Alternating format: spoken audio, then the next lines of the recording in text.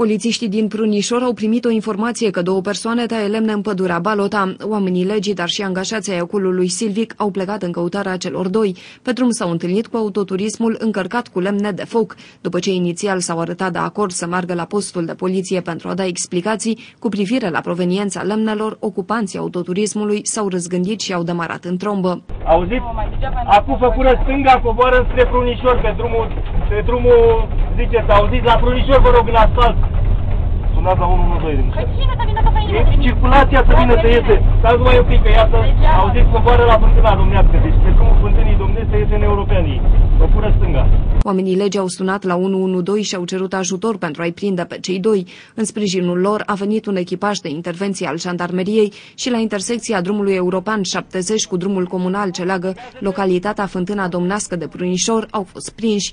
Mai apoi cei doi au încercat să îl agreseze pe reprezentantul ocolului Silvic. Pentru a se apăra, acesta a fost nevoit să facă uz de armamentul din dotare. I-am prins, s-au ripostat. Pădurarul a tras un foc de avertizment în plan vertical, după care urcare în mașină și fugirea.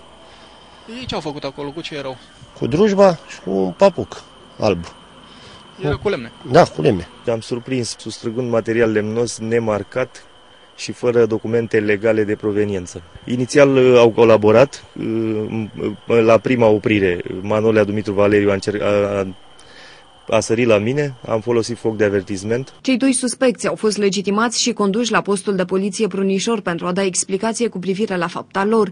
Unul dintre ei este angajat al primăriei Prunișor și conform unor surse care au dorit să își păstreze anonimatul, un apropiat al edilului Nandi Covla. Luați la întrebări, ei susțin că de fapt sunt victime ale reprezentantului ocolului Silvic, care din motive politice ar încerca să se răzbune pe ei. Spun că de fapt ar fi cumpărat lemnele. Eu am fost șef de campanie la PSD-ul, iar acesta pădurar este singurul pedelist din comună.